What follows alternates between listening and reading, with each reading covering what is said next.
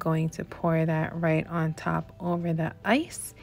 And you see, now you see this little latte look, my iced latte. And then I am just going to go ahead and top it off with, I mean, you know, I just got to get every drop because y'all follow my videos, y'all know I don't waste product. So I'm to put my um, whipped cream or cold foam, whatever you want to call it, on the top. And then I'm just going to grab my pistachio jello mix again and just sprinkle